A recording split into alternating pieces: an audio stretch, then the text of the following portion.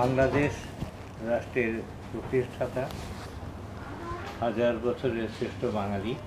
আমাদের এই ভূখণ্ডের অন্যান্য সাধারণ নেতা, বঙ্গবন্ধু শেখ মুজিবুর রহমানের স্মৃতির প্রতি গভীর শ্রদ্ধা জানিয়ে আমরা আজকের এই অনুষ্ঠান শুরু করছি।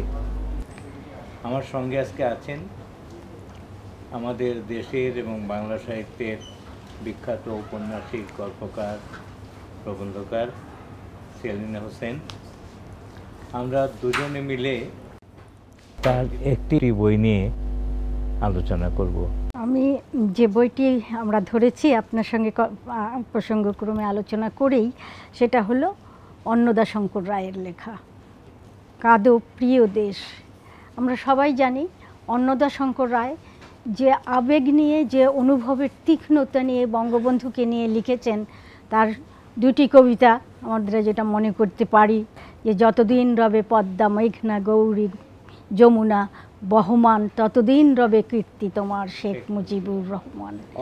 এই অসাধারণ পংক্তি যে হাজার বছরের শ্রেষ্ঠ বাঙালি এবং বাঙালি জাতিসত্তার বিকাশের জন্য এবং তাকে আত্মমর্যাদার জায়গায় তুলে ধরার জন্য বঙ্গবন্ধু যে কাজটি করেছেন একটি স্বাধীন সার্বভৌম রাষ্ট্রের পাশাপাশি নিজের বাঙালিত্বের প্রকাশে তার বাঙালিত্বের বাংলা ভাষা বাংলা সংস্কৃতির সবটুকু ধারণ করে যে কাজটা করেছেন সেখানে তার তুলনীয় মানুষ আর খুব কমই পাওয়া যাবে। পাওয়া কাদো প্রিয় দেশ অন্নদা শঙ্কর রায় একজন মহান মানুষ মহান কবি। আমাদের এই বঙ্গবন্ধুর মৃত্যুতে তিনি লিখছেন কাঁদো প্রিয় দেশ।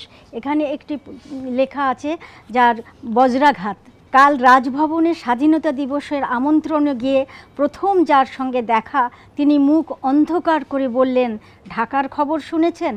আমার জানা ছিল না। শুনে ভদ্রলোকের হাতটা চেপে ধরি। এ ট্র্যাজেডি শুধু আপনাদের নয়, বাঙালি মাত্রেরই পক্ষে মর্মান্তিক। সমগ্র বাঙালি সমাজকে নিয়ে বঙ্গবন্ধুর যে আবির্ভাব, যে প্রতিনিধিত্ব, সেই জায়গাটুকু অন্নদা শঙ্কর গভীরভাবে তার এই বইয়ের মধ্যে ধরেছেন। অত্যন্ত বেদনার সঙ্গে, অত্যন্ত কষ্টের সঙ্গে। যেখানে শুরুতেই একটি শেখ মুজিবুর রহমান স্মরণে একটি কবিতা আছে, তার শেষ দুই লাইন উনিশশো পঁচাত্তর সালে লেখা। তিনি লিখছেন, বাংলাদেশ বাংলাদেশ, থেকো না কো নীরব দর্শক, ধিক্কারে মুখর হও, হাত ধুয়ে এড়াও নরক।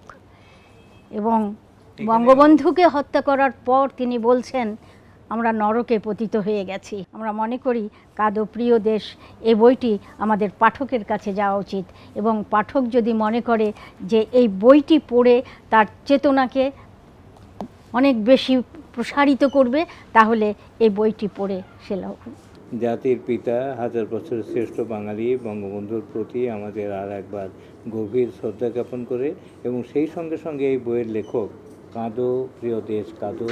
এর লেখক অন্নদাশঙ্কর রায়কেও আমরা গভীর শ্রদ্ধা জানাই।